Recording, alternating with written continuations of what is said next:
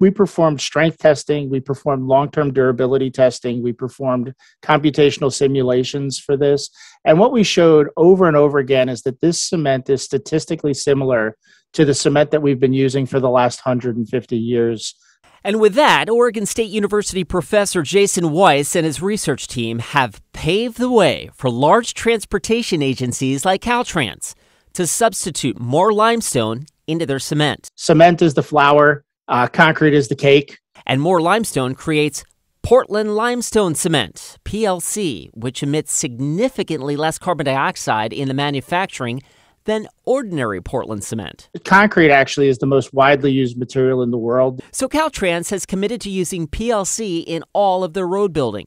The net effect, they say, will be to remove 28,000 tons of CO2 emissions a year equivalent to taking 6,000 cars off the road. We've also actually seen benefits when you start combining this cement with alternative cements that we commonly use, such as things like fly ash or slag. Slag is stony waste matter separated from metals during the smelting or refining of ore.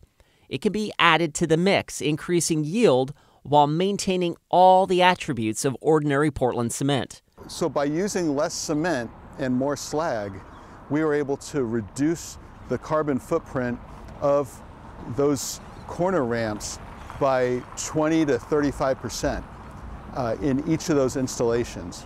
The Portland Bureau of Transportation is replacing upwards of 1,500 corners a year across the city to meet the Americans with Disabilities Act. We are all working together to find uh, a way to reduce the carbon emissions. From roads to reservoirs to sewer facilities, lower carbon cement has a place in nearly everything the city builds.